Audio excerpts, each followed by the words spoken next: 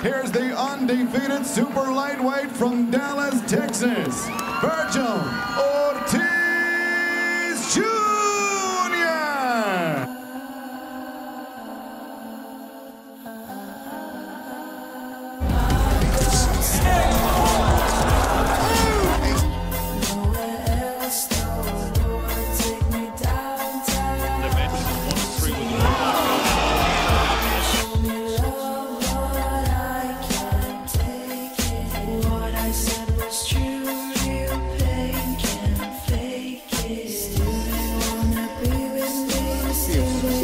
and oh, there down. And that was a jab a that stiff caught. One, huh?